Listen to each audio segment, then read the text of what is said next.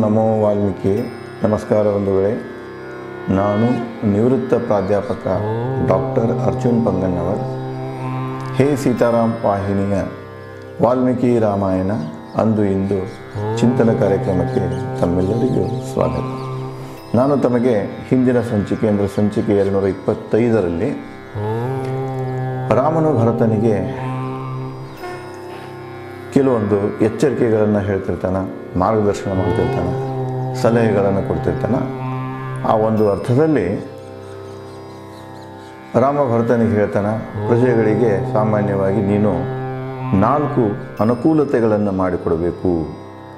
ಒಂದನೇದ್ದು ಶಾಂತಿ ಪಾಲನೆ ಮಾಡ್ಕೊಂಡು ಹೋಗಬೇಕು. ಎರಡನೇದ್ದು ಅವ್ರಿಗೆ ಸ್ವಾತಂತ್ರ್ಯ ಕೊಡಬೇಕು. ಮೂರನೇದ್ದು ಯಾವುದೇ ಪ್ರಕಾರದ ಭಿನ್ನಾಭಿಪ್ರಾಯ, ಹಬ್ಬದಂತೆ ನೋಡ್ಕೊಳ್ಬೇಕು. ನಾಲ್ಕನೇದ್ದು ತಪ್ಪಿಸಿದವರಿಗೆ ಶಿಕ್ಷೆಯನ್ನು ವಿಧಿಸಬೇಕು. ಈ ಅನುಕೂಲತೆಗಳನ್ನು ಈ ಸೌಲಭ್ಯಗಳನ್ನು ನೀನು ಮಾಡಿಕೊಡಬೇಕು. ಅದರಂತೆ ಏಳು ರಾಜ್ಯಾಂಗಗಳ ಬಗ್ಗೆ ಹೇಳ್ತಾರೆ. ಒಂದು ದೇಶದ ಆಡಳಿತ ಏಳು ಅಂಗಗಳನ್ನು ಹೊಂದಿರ್ತದೆ. ಅದರಾಗ ಮೊದಲನೇ ಅಂಗ ರಾಜ ಎರಡನೇದು ಮಂತ್ರಿಗಳು ಸ್ನೇಹಿತರು ಕೋಶ ಗಡಿ ಕೋಟೆ ಮತ್ತು ಸೈನ್ಯ.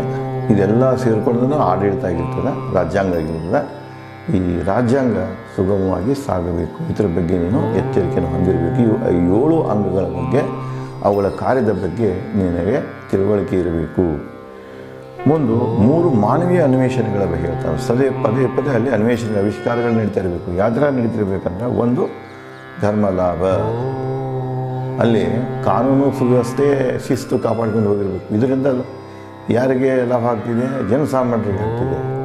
ಶಿಸ್ತು ಪಾಲನೆ, ದೇಶದಲ್ಲಿ ಶಿಸ್ತು ಪಾಲನೆ ಆಗಿತ್ತಂದರೆ ಎಲ್ಲರೂ ಸುಖವಾಗಿರ್ತಾರೆ ಅದಕ್ಕಿದು ಧರ್ಮದ ರಕ್ಷಣೆ ಆಗಿರಬೇಕು. ಮುಂದು ಭೌತಿಕ ಸಂಪತ್ತು, ದೇಶದ ಸಂಪತ್ತು ಏನಿದೆ? ಅರಣ್ಯ ಆಗಲಿ, ಜಲ ಆಗಲಿ ಮೈನಿಂಗ್ ಆಗಲಿ, ನದಿ ಆಗಲಿ ಕೋಲ್ ಆಗಲಿ ಇವುಗಳದ್ದೆಲ್ಲನೂ ಅಭಿವೃದ್ಧಿ ಹೆಂಗೆ ಮಾಡ್ಕೊಂಡು ಹೋಗಬೇಕು, ರಕ್ಷಣೆ ಹೆಂಗೆ ಮಾಡ್ಕೊಂಡು ಹೋಗ್ಬೇಕು ಅನ್ನೋದ್ರ ಬಗ್ಗೆ ಅನ್ವೇಷಣೆ ನೀಡ್ತಾ ಇರಬೇಕು.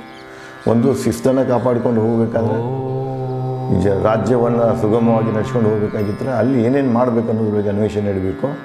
ಸಂಪತ್ತು ರಕ್ಷಣೆಗಾಗಿ ಅನ್ವೇಷಣೆ ನಡೀಬೇಕು. ಮೂರನೇದು, ಅಧಿಕಾರ ನಿರ್ವಹಿಸುವ ಕಾಲಕ್ಕೆ. ಅಲ್ಲಿ ಏನು ಮಾಡೋಕ್ಕೆ ಸಾಧ್ಯ ಇದೆ? ಯಾವ ಅಧಿಕಾರವನ್ನು ಯಾರಿಗೆ ಕೊಡಬೇಕು? ಯಾವ ರೀತಿಯಾಗಿ ಚಲಾಯಿಸಬೇಕು? ಅನ್ನುವಂತಹ ಇದರ ಬಗ್ಗೆ ಅನ್ವೇಷಣೆಗಳು, ಆವಿಷ್ಕಾರಗಳು ನಡೀತಾ ಇರಬೇಕು ಅಂಥೇಳಿ ರಾಮ ಭರತನಿಗೆ ಹೇಳ್ತಾನೆ. ಅದನ್ನೇ ಮುಂದುವರಿಸಿ ವಾಲ್ಮೀಕಿಯವರು ರಾಮನು ಭರತನಿಗೆ ಹೇಳುವಂತಹ ಸಲಹೆಗಳನ್ನು, ಎಚ್ಚರಿಕೆಗಳನ್ನು ಈ ರೀತಿಯಾಗಿ ಮುಂದುವರಿಸ್ತಾರೆ. ಮೂರು ವಿದ್ಯಾನಿಕಾಯಗಳು. ವಿದ್ಯಾನಿಕಾಯಗಳು ಮೂರು ದಿ ಬ್ರಾಂಚಸ್ ಆಫ್ ನಾಲೆಜ್ ಅಂತ ಇಂಗ್ಲೀಷ್ನಾಗ ಅಂತೀವಿ. ಒಂದು ಕೌಟಿಲ್ಯ ಅರ್ಥಶಾಸ್ತ್ರದಲ್ಲಿ ಕೂಡ ಕೌಟಿಲ್ಯ ಉಲ್ಲೇಖ ಮಾಡ್ತಾನೆ. ವಾಲ್ಮೀಕಿ ಮತ್ತು ಬೃಹಸ್ಪತಿಯವರ ಏನೊಂದು ಕಾಂಟ್ರಿಬ್ಯೂಷನ್ ಇದೆ. ವಾಲ್ಮೀಕಿಯವ್ರದ್ದು ಉಪಚೇತಸ ಅರ್ಥಶಾಸ್ತ್ರ ರಾಮಾಯಣ ಮತ್ತು ಯೋಗ ವಾಸಿಷ್ಠ ಇನ್ನೂ ಹಲವಾರು ಐದಾರು ಗ್ರಂಥಗಳದಾವ ಅಂತ ಹೇಳ್ತಾರೆ. ನಮ್ಮ ಗಮನಕ್ಕೆ ಬಂದಿದ್ದು ಅಷ್ಟೇ ಒಂದು ನಾಲ್ಕು, ಮೂರು, ನಾಲ್ಕು ಗ್ರಂಥಗಳು ಮಾತ್ರ. ಅಲ್ಲಿ ಅವರು ಕೂಡ ಉಲ್ಲೇಖದಾಗ ಇದನ್ನೇ ಹೇಳ್ತಾರೆ. ಅಲ್ಲಿ ಎರಡನೇ ಚಾಪ್ಟರ್ದಾಗ ಅವರು ಕೌಟಿಲ್ಯ ಅರ್ಥಶಾಸ್ತ್ರದಾಗ ಇದನ್ನೇ ಹೇಳ್ತಾರೆ. ತ್ರೇತಾಯುಗದಲ್ಲಿ ನಾಲೆಜ್ ಇದ್ದ ವಿದ್ಯೆಯ ನಾಲ್ಕು ಶಾಖೆಗಳಿದ್ದು ಅಂತ ಹೇಳ್ತಾರೆ. ಇಲ್ಲಿ ಅದರ ಉಲ್ಲೇಖನೂ ಇದೆ. ಇಲ್ಲಿ ವಾಲ್ಮೀಕಿಯವರು ಏನು ಹೇಳ್ತಾರೆ ರಾಮನ ಮೂಲಕ ಮೂರು ವಿದ್ಯಾನಿಕಾಯಗಳು. ಈ ಮೂರು ವಿದ್ಯಾನಿಕಾಯಗಳು ಯಾವಂದ್ರೆ? ಒಂದನೇದು ಧರ್ಮ. ಧರ್ಮ ಅಂದರೆ ಶಿಸ್ತು, ಸಂವಿಧಾನ. ಶಿಸ್ತು, ಸಂವಿಧಾನ. ಈಗ ಭರತಖಂಡದಲ್ಲಿ ಇಲ್ಲಿ ತನಕ ಬಂದಂಥ ಹೋಗ್ತಾ ನಾವು ಧರ್ಮಶಾ ಸಾಹಿತ್ಯಗಳಂತ ಕರಿತೇವೆ. ಎಂಟು ಧರ್ಮ ಸಾಹಿತ್ಯಗಳಿವೆ. ಆ ಎಂಟು ಧರ್ಮ ಸಾಹಿತ್ಯಗಳಲ್ಲಿ ಮೊದಲೇ ಬರೋದನ್ನ ಯಾವುದಂದ್ರೆ ವೇದಗಳು. ಇಲ್ಲಿ ಉಲ್ಲೇಖ ಏನಿದೆ ಅಂದ್ರೆ, ಈ ಧರ್ಮದ ಪಾಲನೆ ಆಗಬೇಕಾಗಿತ್ತಂದ್ರೆ ಈ ವೇದಗಳಲ್ಲಿ ಏನು ಸೂತ್ರಗಳನ್ನು ಕೊಟ್ಟಾರ? ಏನು ಒಂದು ಚೌಕಟ್ಟನ್ನು ಹಾಕಿ ಕೊಟ್ಟಾರ? ಅವುಗಳನ್ನು ಪಾಲಿಸಬೇಕು. ಅದೇ ಒಂದು ಆಧಾರದ ಮೇಲೇ ಸಮ್ರಾಟ ಭರತ ಧರ್ಮಸೂತ್ರಗಳನ್ನು ಜಾರಿಗೆ ತರ್ತಾರೆ. ಧರ್ಮಸೂತ್ರ ಅಂದ್ರೆ ಕೋಡ್ ಆಫ್ ಕಂಡಕ್ಟ್ಸನ್ನು ಅದಕ್ಕೆ ಇಲ್ಲಿ ಏನು ಹೇಳ್ತಾನಂದ್ರೆ ಮೊದಲೇದು ಯಾವುದಪ್ಪ ಅಂದ್ರೆ, ಧರ್ಮಸೂತ್ರಗಳ ಬಗ್ಗೆ ಅಧ್ಯಯನ ಮಾಡಬೇಕು. ಅರ್ಥಾತ್ ಇಷ್ಟೆಲ್ಲ ಈಗಿನ ಸಂದರ್ಭದಲ್ಲಿ ನಾವು ಭಾರತೀಯರು ಮೊದಲು ಸಂವಿಧಾನದ ಬಗ್ಗೆ ತಿಳ್ಕೊಳ್ಬೇಕು. ಅದಕ್ಕೆ ನೋಡಿ, ಎರಡು ಸಾವಿರ, ಎರಡು ಸಾವಿರಕ್ಕಿಂತ ಮೊದಲು ಭಾರತೀಯ ಸಂವಿಧಾನ ಪಠ್ಯಗಳಲ್ಲಿ ಇರೋಕ್ಕಿಲ್ಲ. ಹಾಗೆ ರಾಜ್ಯಶಾಸ್ತ್ರದ ರಾಜ್ಯ, ಈ ನಮ್ಮ ನಾಗರಿಕರ ಹಕ್ಕುಗಳೇನು, ಸಂವಿಧಾನಿಕ ಹಕ್ಕುಗಳೇನು, ಅವರು ಕರ್ತವ್ಯಗಳೇನು ಅಂತ ಬಂದಾಗ ಅಲ್ಲಿ ಅಷ್ಟು ಅಷ್ಟು ಸೀಮಿತ ಇತ್ತು. ಬಟ್ ಅದನ್ನು ಒಂದು ಪೇಪರ್ ಆಗಿ ಒಂದು ಪತ್ರಿಕೆಯಾಗಿ ಅಧ್ಯಯನ ಮಾಡಲಿಕ್ಕೆ ಇದು ಎರಡು ಸಾವಿರದಿಂದ ಈ ಕಡೆಗೆ ಯೂನಿವರ್ಸಿಟಿಗಳಲ್ಲಿ, ಅದು ಪದವೀರಲ್ಲಿ ಮಟ್ಟದಲ್ಲಿ ಒಂದು ವಿಷಯವನ್ನಾಗಿ ಜಾರಿಗೆ ತರೋದು. ಕಂಪಲ್ಸರಿ ಮಾಡ್ಯಾರ ಮಾಡಿದ್ದು ಸರಿನೇ? ಯಾಕಂದರೆ ಈ ದೇಶದಲ್ಲಿ ಹುಟ್ಟಿದಂಥ ಪ್ರತಿಯೊಬ್ಬನಿಗೂ ಡಾಕ್ಟರ್ ಬಾಬಾ ಸಾಹೇಬ್ ಅಂಬೇಡ್ಕರ್ ಬರೆದಂತಹ ಸಂವಿಧಾನ ಏನಿದೆ, ಸಂವಿಧಾನದಲ್ಲಿರುವಂತಹ ಹಕ್ಕುಗಳೇನಿವೆ, ಸಂವಿಧಾನದ ಮಹತ್ವ ಏನು, ಸಂವಿಧಾನದ ಆತ್ಮ ಏನು, ಸಂವಿಧಾನದ ಆಶೆ ಏನು ಇವು ಕನಿಷ್ಠ ಪ್ರಕಾರದ ಮಟ್ಟದಲ್ಲಿ ಅದು ಸಹಿತ ಪ್ರತಿಯೊಬ್ಬನಿಗೆ ತಿಳಿದಿರಬೇಕು. ಈ ದೇಶ ಸಂವಿಧಾನ ಹೊಂದಿದೆ, ಸಂವಿಧಾನ ಅಡಿಯಲ್ಲಿ ನಾವು ಇದನ್ನು ಮಾಡಬೇಕು, ಇದನ್ನು ಮಾಡಬಾರ್ದು ಅಂತ ಒಂದು ಕನಿಷ್ಠ ಜ್ಞಾನ ತಂದು ಕೊಡಬೇಕಾಗಿತ್ತಂದರೆ ನಾವು ಅವರಿಗೆ ಸಂವಿಧಾನದ ಬಗ್ಗೆ ಕಲಿಸಬೇಕು ಇಲ್ಲಿ ಧರ್ಮ ಅಂದರೆ ಇದು ಬರ್ತಿದೆ ಮುಂದೆ ಎರಡನೇ ದೇವ್ರಪ್ಪ ಅಂದ್ರೆ ಕಾಯಕ ಅಂದರೆ ಇಂಡಸ್ಟ್ರಿ ಇವು ಒಂದು ಯಾವ ವರ್ಕ್ಸ್ ಬರುತ್ತೆ. ವರ್ಕ್ ಅಂದರೆ ಎಕನಾಮಿಕ್ಸ್ ಇದು. ಯಾವುದಂದ್ರೆ ಪ್ರೊಫೆಷನ್ಸ್ ಅಗ್ರಿಕಲ್ಚರ್ ಆಗಿರ್ಬೋದು, ಉದ್ದಿಮೆ ಆಗಿರ್ಬೋದು ಕರಕುಶಲರಾಗಿರ್ಬೋದು ಟೋಟಲಿ ಅರ್ಥಶಾಸ್ತ್ರ.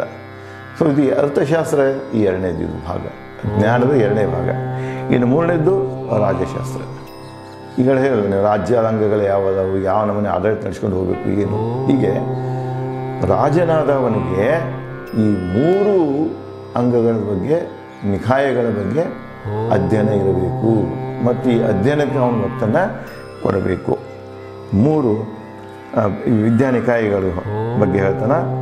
ಆರು ವ್ಯೂಹಗಳು, ಆರು ಸ್ಟ್ರಾಟಜೀಸ್ ಅಂತ ಹೇಳ್ತಾನೆ. ಆರು ತಂತ್ರಗಾರಿಕೆಯನ್ನು ಹೊಂದಿರಬೇಕು. ಆ ಆರು ತಂತ್ರಗಾರಿಕೆಗಳು ಯಾವಂದ್ರೆ? ಒಂದು, ಒಪ್ಪಂದ, ಎರಡನೇದ್ದು ಯುದ್ಧ, ಮೂರನೇದ್ದು ಶತ್ರುಗಳ ಮೇಲೆ ಆಕ್ರಮಣ, ನಾಲ್ಕನೇದ್ದು ಸೂಕ್ತ ಸಮಯ ಕಾಯುವುದು ಐದನೇದು ಶತ್ರು ಸೈನ್ಯದಲ್ಲಿ ಅಶಾಂತಿ ಹುಟ್ಟಿಸುವುದು ಮತ್ತು ಆರನೇದ್ದು ಮೈತ್ರಿ ರಕ್ಷಣೆ.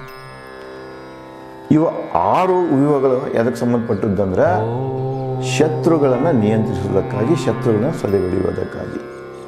ಗಡಿ ರಕ್ಷಣೆಗಾಗಿ ನಮ್ಮ ಶತ್ರುಗಳನ್ನು ನಾವು ಸದೆ ಹೊಡಿಬೇಕಾಗಿತ್ತಂದ್ರೆ ನಿಯಂತ್ರಿಸಬೇಕಾಗಿತ್ತಂದ್ರೆ ನಾವು ಆರು ವ್ಯೂಹಗಳನ್ನು ತಾಂತ್ರಿಕತೆಯನ್ನು ಹೊಂದಿರಬೇಕು. ಆರು. ಒಂದೇದು ಯಾವುದಪ್ಪ ಅಂದ್ರೆ ಶತ್ರುಗಳೊಂದಿಗೆ ಒಪ್ಪಂದ ಮಾಡ್ಕೋಬೇಕು ಅದನ್ನು ನಾವು ಕಲಿಬೇಕು. ಒಳ್ಳೆ ನಿಪುಣತೆಯಿಂದ ಒಪ್ಪಂದವನ್ನು ಮಾಡಿಕೊಳ್ಬೇಕು. ಒಪ್ಪಂದಕ್ಕೆ ಬರಲಿಲ್ಲ ಅಂದ್ರೆ ಯುದ್ಧ ಅನಿವಾರ್ಯ ಆಗ್ತಿದೆ. ಯುದ್ಧದಿಂದ ಅವ್ರನ್ನ ಮಣಿಸ್ಬೇಕು. ಇಲ್ಲ ನಿಲ್ಲಂದ್ರೆ ಅವ್ರನ್ನ ಭಾಳ ನಮ್ಮನ್ನ ಕಾಡ್ಸಾಕತ್ತಿದ್ರಂದ್ರೆ ನಾವು ಅನಿವಾರ್ಯ ಅನಿಸ್ತಂದ್ರೆ ಅವರ ಮೇಲೆ ಆಕ್ರಮಣ ಮಾಡಬೇಕು. ಮುಂದು ಆಕ್ರಮಣ ಮಾಡೋ ಕಾಲಕ್ಕೆ ನಾವು ಸೂಕ್ತ ಸಮಯಕ್ಕೆ ಆಕ್ರಮಣ ಮಾಡಬೇಕು. ಯಾವ ಬೇಕಾದಾಗ ಮಾಡುವಂಗಿಲ್ಲ. ಯುದ್ಧ ಮಾಡಬೇಕಾಗಿತ್ತು ನಾವು ಸಮಯವನ್ನು ನೋಡ್ಬೇಕು ನಮ್ಮಲ್ಲೇ ನೋಡಿ ಈಗ ನಮ್ಮದು ಒಂದು ನಾಲ್ಕು ಯುದ್ಧಗಳನ್ನು ಆಗ್ಯಾವ. ಆ ಯುದ್ಧಗಳನ್ನು ನೋಡಿದಾಗ ಪ್ರೈಮ್ ಮಿನಿಸ್ಟರ್ ಆದವು ಯುದ್ಧ ಯಾವಾಗ ಡಿಕ್ಲೇರ್ ಮಾಡಬೇಕು ಅನ್ನೋ ಮಿಲಿಟ್ರಿ ಜೊತೆಗೆ ಸೈನ್ಯ ದಂಡನ ಇವ್ರ ಜೊತೆಗೆ ಮುಖ್ಯಸ್ಥರ ಜೊತೆಗೆ ಮಾತುಕತೆ ಮಾಡಿಕೊಂಡು ಯಾವ ಸಮಯದಲ್ಲಿ ನಾವು ಯುದ್ಧ ಮಾಡಿದರೆ ನಾವು ಯಶಸ್ವಿ ಆಗ್ತೀವಿ ಅಂತ ಒಂದು ವ್ಯೂಹವನ್ನು ತಯಾರು ಮಾಡ್ಕೊಂಡಿರ್ತಾರೆ. ಅಲ್ಲಿ ಆ ಪ್ರಕಾರ ನಮ್ಗೆ ಅನುಕೂಲಕರ ಇದ್ದಾಗ ಮಾತ್ರ ಯುದ್ಧ ಮಾಡಿದರೆ ಸರಿ. ನಮ್ಮ ಪ್ರತಿಕೂಲ ಇತ್ತು ವಾತಾವರಣ ಯುದ್ಧ ಮಾಡಿದರೆ ಸೋಲ್ತಾರೆ. ಅದನ್ನು ಎರಡನೇ ಜಾಗತಿಕ ಯುದ್ಧದಾಗ ಒಂದು ವೇಳೆ ಜರ್ಮನಿ, ರಷ್ಯಾದ ಮೇಲೆ ತನ್ನ ಬಲವನ್ನು ಕಾಯ್ಪಾ ಇದನ್ನು ಕಳ್ಕೊಳ್ದೆ ಹೋಗಿದ್ರು. ಯಾಕಂದರೆ ರಷ್ಯಾ ನ್ಯಾಷನಲ್ ಡಿಫೆನ್ಸ್ ಸಾಕಷ್ಟು ಅಲ್ಲಿ ಬರಫದ ಇದಿದೆ. ಹಾಂ, ಅಲ್ಲಿ ಇವರಿಗೆ ಬೇರೆದವ್ರಿಗೆ ಹೋಗೋಕ್ಕಾಗೋದಿಲ್ಲ ರಷ್ಯಾನ ಅಲ್ಲಿ ಬಾಂಡ್ ಅದರ ಅವ್ರಿಗೆ ಗೊತ್ತಿದೆ. ಅರ್ಧಕ್ಕರ್ಧ ಅರ್ಧಕ್ಕಿಂತ ಹೆಚ್ಚು ಶಕ್ತಿ ಜರ್ಮನ್ಸು ಅಲ್ಲೇ ಕಳ್ಕೊಳ್ತಾರೆ. ಹೀಗಾಗಿ ಎರಡನೇ ಜಾಗತಿಕ ಯುದ್ಧಕ್ಕೆ ಸಾಲಕ್ಕೆ ಒಂದು ಕಾರಣ ಸೋಲಿಕ್ಕೆ ಒಂದು ಕಾರಣ ಆಗ್ತಿದೆ. ಅದಂತೆ ಇಲ್ಲಿ ಕೂಡ ಅವರೇನಿದೆ ನಮ್ಮ ಗಡಿಯನ್ನು ರಕ್ಷಣೆ ಮಾಡ್ಕೋಬೇಕು ನಮ್ಮ ವೈರಿಯನ್ನು ಸಹ ಸದಿ ಬಿಡಬೇಕಾಗಿತ್ತಂದರೆ ನಾವು ಈ ಆರು ತಂತ್ರಗಾರಿಕೆಯನ್ನು ಹೊಂದಬೇಕಂತ ಹೇಳಿ ಭರತನಿಗೆ ರಾಮ ಹೇಳ್ತಾನೆ. ಮುಂದುವರೆದು ಪ್ರಕೃತಿ ವಿಕೋಪಗಳು ಪ್ರಕೃತಿ ವಿಕೋಪಗಳ ಬಗ್ಗೆ ಹೇಳ್ತಾನೆ. ಪ್ರಕೃತಿ ವಿಕೋಪಗಳಂದ್ರೆ ಯಾವುದು? ಅಗ್ನಿ. ಈಗ ನಾವು ನೋಡ್ತಾ ಇರ್ತೀವಿ ಕಾಡ್ಗಿಚ್ಚು ಕಾಡ ಬೆಂಕಿ ಹತ್ತಿರ್ತದೆ. ಮುಂದೆ ಎಲ್ಲೆಲ್ಲಿ ವೈಕಾಣು ಆಗ್ತಿರ್ತದೆ ವೈಕಾಣು ಅಂದರೆ ಜ್ವಾಲಾಮುಖಿ ಕಾಡಿಗೆ ಅಗ್ನಿ ಹತ್ತೋದು. ಜಲಪ್ರಳಯ ಈಗ ನೋಡ್ತಾ ಇದ್ದೇನೋ ಸಮುದ್ರ, ಸುನಾಮಿ ಬಂದು ಉಕ್ಕೇರ್ಕೊಂಡು ಹೋಗ್ತದೆ ಇಲ್ಲಂದ್ರೆ ನದಿಗಳೇ ಮಹಾಪುರು ಬರ್ತದೆ ಮೋಡಗಳ ಸ್ಫೋಟ ಆಗ್ತದೆ. ಇವೆಲ್ಲ ಜಲಪ್ರಳಯಗಳು. ಮಹಾಮಾರಿಗಳು ಎಪಿಕ್ ಮನೆ ಬಂದು ಹೋಗ್ತಲ್ಲ ಯಾವುದು ನಮ್ಮ ಕೋವಿಡ್ ನೈನ್ಟೀನ್ ಬಂದು ಹೊತ್ತು ಅದ್ರ ಹಿಂದೂ ಸಾಕಷ್ಟು ಮಲೇರಿಯಾ, ಅವು ಕಾಲ್ರಾ ಇಂಥವೆಲ್ಲ ಭಾಳಷ್ಟು ಬಂದವ. ಹಾಂ, ಇವು. ಆಮೇಲೆ ಬರಗಾಲ. ಮಳೆ ಆಗದೆ ಹೋತಪ್ಪ ಅಂದ್ರೆ ಆರು ಧಾನ್ಯನೂ ಬರಲ್ಲ ಕುಡಿಯೋಕೆ ಬರಗಾಲ. ಮತ್ತು ಭೂಕಂಪಗಳು. ಇವು ಪ್ರಕೃತಿಯ ವಿಕೋಪಗಳು. ಪ್ರಕೃತಿಯ ವಿಕೋಪಗಳು ಯಾಕೆ ಬರ್ತಾವ? ಅವ ಆಗದಂಗೆ ನಾವು ಏನು ಮಾಡೋಕ್ಕೆ ಸಾಧ್ಯ ಇದೆ ಅದಕ್ಕೆ ಒಂದೇ ಮನುಷ್ಯ ಭಾಳ ಪ್ರಯತ್ನ ಮಾಡಬೇಕಾಗಿದ್ರೆ ಏನಂದ್ರೆ ಪರಿಸರ ಸಮತೋಲನ. ಪರಿಸರ ಸಮತೋಲನ ಕಾಪಾಡಿಕೊಂಡು ಹೋದಂದ್ರೆ ಹೆಚ್ಚು ಕಡಿಮೆ ಈ ಪ್ರಕೃತಿ ವಿಕೋಪಗಳು ಕಡಿಮೆ ಆಗ್ತವೆ. ಪ್ರಕೃತಿ ನಾವು ಹೇಳ್ತೇವೆ ಸಮತೋಲನೆ ಅಂದರೆ ಪರಿಸರ ಸಮತೋಲನ ಅಂದರೆ ಇಲ್ಲಿ ಮನುಷ್ಯನೂ ಬರ್ತಿದೆ ಮನುಷ್ಯ ಧರ್ಮನಿಷ್ಠನಾಗಿ ಹೋದಪ್ಪ ಅಂದರೆ ಎಲ್ಲ ಸರಿ ಇರ್ತದೆ. ಯಾವ್ಯಾವ ಕಾಲದಾಗ ಮನುಷ್ಯ ಅಧರ್ಮಿಯಾಗಿದ್ದಾನೆ, ಅವಾಗೆಲ್ಲ ಪ್ರಕೃತಿ ವಿಕೋಪದಿಂದ, ಪ್ರಕೃತಿ ನಾಶ ಮಾಡ್ಕೊಂಡು ಈಗ ನಾವು ನಾಗರಿಕತೆಗಳನ್ನು ನೋಡೋಣ ಹಿಂದಿನ ಅದು ಹೈಟೈಟಿ ನಾಗರಿಕತೆ ಆಗಿರ್ಬೋದು ಮೆಸೊಪೇಟಿಯಮಿಯ ನಾಗರಿಕತೆ ಆಗಿರ್ಬೋದು, ಅಥವಾ ನಮ್ಮ ಮಹಂಜ, ಮಹೇಂಜೋದಾರ್ ಹರಪ್ಪ ಆಗಿರ್ಬೋದು. ಇವೆಲ್ಲ ನಾಗರಿಕತೆಗಳನ್ನು ಇವು ಯಾಕೆ ಹಾಳಾದವು ಅಂತ ನೋಡಿದಾಗ ಹೋದಾಗ ಪ್ರಕೃತಿನ ಕಾರಣ. ಮಹಾಪೂರಗಳಿಂದ ಅಥವಾ ಕ್ಷಾಮದಿಂದ ಯಾವುದೇ ಒಂದು ಕಾರಣದಿಂದಾಗಿ ಆ ಇಡೀ ನಾಗರಿಕತೆನ ಉಡಿ ಹೋಗ್ತದೆ. ಈಗ ಇದು ಅದರ ಕಾಲ ಬಂದಿದೆ ನಮ್ಮದು ಇದು ಒಂದು ನಾಗರಿಕತೆಯ ನಂತರದಿದೆ. ಯಾಕಂದರೆ ಭೂಮಿಯಾಗ ನಮ್ಮಂತ ಎಷ್ಟೋ ನಾಗರಿಕತೆಗಳು ಹುಟ್ಟೋಗ್ಯಾವ ಮೂರು ಮೂರು ಸಾವಿರ, ಮೂರುವರೆ ಸಾವಿರ ತಕ್ಕ ಇರ್ತಾವೆ. ಆನಂತರ ಹಾಳಾಗಿ ಹೋಗ್ತಾವೆ. ಮತ್ತೊಂದು ವ, ನೂರು, ಸಾವಿರ ವರ್ಷ ತನಕ ಮತ್ತು ಹಾಗೆ ಬೆಳ್ಕೊಂತ ಹೊಂಟಿರ್ತದೆ. ಈ ಒಂದು ಸೈಕಲ್ ಕಂಟಿನ್ಯೂಸ್ ಇದೆ ಭೂಮಿಯಾಗ. ಅದಕ್ಕೆ ಇಲ್ಲಿ ಏನಾಗ್ತಿದೆ ಅಂದ್ರೆ ಇಲ್ಲಿ ಈ ಪ್ರಕೃತಿ ವಿಕೋಪಗಳ ಏನದಲ್ಲ ಇದನ್ನು ಆಗದಂಗೆ ನಾವು ಧರ್ಮ ಧರ್ಮನಿಷ್ಠೆಯಿಂದ ಸಾಗಿರಬೇಕು ಮತ್ತು ಸಮತೋಲನ ಕಾಪಾಡ್ಕೊಂಡು ಹೋಗಿ ಇದ್ರ ಬಗ್ಗೆ ನಾವು ಎಚ್ಚರಿಕೆಯನ್ನು ವಹಿಸ್ಬೇಕಂತ ಹೇಳಿ ರಾಮ ಭರತನಿಗೆ ಹೇಳ್ತಾನೆ. ಮುಂದೆ ಅದರಂತೆ ಮಾನವೀಯ ವಿಕೋಪಗಳನ್ನು ಇವೆ. ಮನುಷ್ಯನ ವಿಕೋಪಗಳಿವೆ. ಮನ ಮಾನವೀಯ ವಿಕೋಪಗಳೆಂದರೆ ಯಾವುವು ಕಳ್ಳತನ. ಕಳ್ಳತನ ಮಾಡೋದು ದರೋಡೆ ಮಾಡೋದು ದಂಗೆ ಎಬ್ಸೋದು ಅಶಾಂತಿ ಹರಡೋದು ಒಳಶತ್ರು ಹಿತಶತ್ರುವಾಗಿ ಇವೆಲ್ಲ ಮಾನವ ವಿಕೋಪಗಳು. ಇವುದ್ರ ಬಗ್ಗೆನೂ ಎಚ್ಚರಿಕೆ ವಹಿಸಬೇಕು. ಕಳ್ಳತನದಿಂದ ಎಚ್ಚರಿಕೆ ಇರಬೇಕು. ಕಳ್ಳರಿಂದ ಎಚ್ಚರಿಕೆ ವಹಿಸಬೇಕು. ದರೋಡೆಕೋರರಿಂದ ದಂಗೆ ಮಾಡೋವರಿಂದ, ಅಶಾಂತಿ ಹರಡುವವರಿಂದ ಇವೆಲ್ಲನೂ ನಾವು ಏನು ಮಾಡಬೇಕು? ನಿಯಂತ್ರಣದಿಂದ ಇಟ್ಟುಕೊಳ್ಬೇಕು. ಇದ್ರ ಬಗ್ಗೆ ಎಚ್ಚರದಿಂದ ರಾಜನಾದವನು ಮುಂದುವರಿಬೇಕು ಅಂತ ಹೇಳ್ತಾನೆ. ಮುಂದುವರೆದು ಇಪ್ಪತ್ತು ಪ್ರಕಾರದ ನಿರಂಕುಶ ರಾಜರು ಡಿಕ್ಟೇಟರ್ಸ್ ಇಪ್ಪತ್ತು ಪ್ರಕಾರದ ಡಿಕ್ಟೇಟರ್ಸ್ ಬಗ್ಗೆ ಹೇಳ್ತಾನೆ. ಈ ಡಿಕ್ಟೇಟರ್ಸ್ ಬಗ್ಗೆ ನೀನು ಎಚ್ಚರದಿಂದಿರಬೇಕು ಅಂತ ಹೇಳ್ತಾನೆ. ಎಚ್ಚರದಿಂದ ಇದ್ದುಕೊಂಡು ರಾಜ್ಯವಾದ ಈ ರಘುಕುಲ ವಂಶಕ್ಕೆ ನೀನೇನು ಮಾಡು? ಕೀರ್ತಿಯನ್ನು ತಗೊಂಡು ಮಾತು ಹೇಳ್ತಾನೆ. ಅಂದರೆ ಇಪ್ಪತ್ತು ಪ್ರಕಾರದ ಡಿಕ್ಟೇಟರ್ಸ್ ಯಾರಂದ್ರೆ? ಇಲ್ಲಿ ಹೇಳ್ತಾನೆ, ಈ ನಿರಂಕುಶ ರಾಜರು ಡಿಕ್ಟೇಟರ್ಸ್ ಇಪ್ಪತ್ತು ಪ್ರಕಾರ ಯಾರಂದ್ರೆ? ಎಂಥವ್ರು ಅಂದ್ರೆ ಅವರು? ಅವರ ಅಯೋಗ್ಯರು. ಅವರ ಎಂಥವರು ಡಿಕ್ಟೇಟರ್ಸ್ ಅಯೋಗ್ಯರು ಇರ್ತಾರಂದ್ರೆ? ಒಂದು ಅಪ್ರಾಪ್ತ. ನೀವು ದೊಡ್ಡವಾಗಿರೋ ಸಣ್ಣವಿರ್ತಾನ ಡಿಕ್ಟೇಟರ್ಶಿಪ್ ನಡೆಸಿರ್ತಾನೆ ಅದು ಅದು ಸರಿಯಲ್ಲ. ವೃದ್ಧ ಡಿಕ್ಟೇಟರ್ಶಿಪ್ಪು ಸರಿಯಲ್ಲ. ರೋಗಿ ಇರ್ತಾನ ಅವನಿಗೆ ನಡೆದಾಡಕ್ಕೆ ಬರೋದಿಲ್ಲ ಅಂಥವ್ರು ಡಿಕ್ಟೇಟರ್ಶಿಪ್ಪು ಮುಂದೆ ಇವ ರಾಜ ಇರ್ತಾನೆ, ಸಂಬಂಧಿಕರು ಗುಲಾಮ್ ಇರ್ತಾನೆ. ರಾಜ ಹೆಸರು ಕೂತಿರ್ತಾನೆ, ಹಿಂದಿನವರು ಸಂಬಂಧಿಕರನ್ನು ಆಟ ಆಡಿಸ್ತಿರ್ತಾರೆ. ಅಂಥ ಡಿಕ್ಟೇಟರ್ಶಿಪ್ಪು ಡಿಕ್ಟೇಟರ್ ಇರ್ತಾನೆ, ಹೇಡಿ ಇರ್ತಾನೆ. ಸುಮ್ಮ ತ- ಬಲವನ್ನು ಉಪಯೋಗ ಮಾಡ್ತಿರ್ತಾನೆ, ತನ್ನಲ್ಲಿ ಏನೂ ಶೌರ್ಯ ಇರುವುದಿಲ್ಲ. ಮುಂದೆ ಹೇಡಿಗಳ ಮಧ್ಯೆ ಇರುವಂಥವು ತಾನು ಶೂರಿರ್ತಾನೆ ಬರ್ತಾನ ಸುತ್ತಮುತ್ತ ಏನಿರ್ತಲ್ಲ ಹೇಡಿಗಳ ತಂದಿರ್ತದೆ. ಅಂಥ ಡಿಕ್ಟೇಟರ್ಸು ಒಂದು ಲೋಭಿ, ರಾಜ ಲೋಭಿ ಇದ್ದಂದ್ರೆ, ಲೋಭಿ ಇರಕೂಡದು ಲೋಭಿ ಇದ್ದಂಥ ಡಿಕ್ಟೇಟರ್ಸು ಎಂಟನೇದು ಲೋಭಿಗಳೊಂದಿಗೆ ಇರುವವ, ಒಂಬತ್ತನೇದು ತನ್ನ ಮಂತ್ರಿಗಳಿಗೆ ಅಪರಿಚಿತ. ಮಂತ್ರಿಗಳಿಗೆ ತಾನು ಸರಿಯಾಗಿ ಗೊತ್ತಿರುವುದಿಲ್ಲ.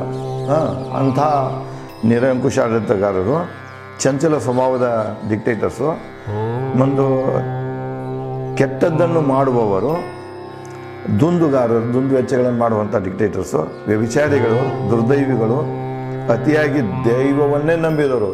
ಹಂಗೆ ಅಗತ್ಯಕ್ಕಿಂತ ಹೆಚ್ಚು ದೈವವನ್ನು ನಂಬುವಂಥ ಡಿಕ್ಟೇಟರ್ಸು ಸೈನ್ಯದ ವಿರುದ್ಧ, ತನ್ನ ಸೈನ್ಯದ ವಿರೋಧಿನ ತಾವಾಗಿ ಅದನ್ನು ಅಂದರೆ ಅವ್ರ ವಿರುದ್ಧನ ಕಠಿಣ ಕ್ರಮಗಳನ್ನು ತಗೊಳ್ಳುವಂಥ ಡಿಕ್ಟೇಟರ್ಸು ಮನೆಯಿಂದ ದೂರಿದ್ದವರು, ಯಾವಾಗಲೂ ಯುದ್ಧದಾಗ ಯುದ್ಧವಂಥ ಡಿಕ್ಟೇಟರ್ಸು ಶತ್ರುಗಳನ್ನು ಹೊಂದಿದವ.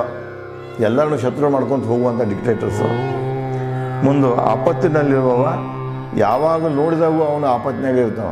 ಈಗ ಒಂದಿಲ್ಲ ಒಂದು ಇದನ್ನು ಕೊಂಡ ತೊಗೊಂಡಿರ್ತಾನೆ ತಾಪತ್ರೆಯನ್ನು ಕೊಂಡ ತೊಗೊಂಡಿರ್ತಾನೆ. ಇಪ್ಪತ್ತನೇದ್ದು ಅಸತ್ಯ ನುಡಿಯುವಂಥ ಡಿಕ್ಟೇಟರ್ಸ್ ಈ ಇಂಥ ಇಪ್ಪತ್ತು ಜನ ಡಿಕ್ಟೇಟರ್ಸ್ ಸ್ವಭಾವದ ಡಿಕ್ಟೇಟರ್ಸ್ ಏನಿದ್ದಾರೆ ಅವರಿಂದ ನೀನು ಎಚ್ಚರದಿಂದ ಇರಬೇಕು. ಅವರೊಂದಿಗೆ ನೀನು ಯಾವುದೇ ವ್ಯವಹಾರವನ್ನು ಹೊಂದಿರಕೂಡದು. ಶಾಂತಿ ಯುದ್ಧ ಯಾತ್ರೆಗೆ ಪ್ರಜೆ ಸಿದ್ಧತೆ ಗುರುಕುಲದ ರಾಜ್ಯದಂತೆ ರಾಜ್ಯವಾಳು. ಯಾವಾಗಲೂ ದೇಶ ರಾಜ್ಯದಲ್ಲಿ ಶಾಂತಿ ಇರಬೇಕು. ಮತ್ತು ಯುದ್ಧ ಅನಿವಾರ್ಯತೆ ಯುದ್ಧದಲ್ಲಿ ನಾವು ಸಫಲರಾಗಿ ಯುದ್ಧ ಮಾಡಿ, ಗೆಲ್ಲುವ ಧರ್ಮದ ಯುದ್ಧಗಳನ್ನು ಗೆಲ್ಲುವಂಥವ್ರು ಇರಬೇಕು. ಮುಂದು, ರಘುಕುಲ ರಾಜರು ಇದನ್ನೇ ಮಾಡ್ಕೊತ ಬಂದಾರ. ನೀನು ಇದರಿಂದ ಇದ್ದಂದ್ರೆ ಸ್ನೇಹಿತ ಸಂಬಂಧ ಬಳಗ ಪ್ರಜೆಗಳೊಂದಿಗೆ ಸುಖವಾಗಿ ಇವನ್ನೆಲ್ಲ ನೀನು ಪಾಲಿಸಿಕೊಂಡು ನಮ್ಮ ಪ್ರಜೆಗಳೊಂದಿಗೆ ಅಯೋಧ್ಯ ಪ್ರಜೆಗಳೊಂದಿಗೆ ಬರ್ತಾ ನೀನು ಸುಖವಾಗಿರು ಅಂತ ಹೇಳಿ ರಾಮ ಭರತನ ಅಪ್ಪಿಕೊಂಡು ಈ ಸಲಹೆಗಳನ್ನು ಕೊಡ್ತಾನೆ. ಈ ಸಲಹೆ ಕೊಡ್ತಾನೆ ಅದೇ ಸಂದರ್ಭದಲ್ಲಿ ರಾಮ ಪ್ರಶ್ನೆ ಮಾಡ್ತಾನೆ ಭರತನಿಗೆ ಯಾಕೆ ಅರಣ್ಯಕ್ಕೆ ಬಂದಿರುವಿ ಅಂತ ಕೇಳ್ತ ಆಯ್ತಪ್ಪ ತಮ್ಮ ನೋಡಿ ಸಂತೋಷ ಆಯಿತು.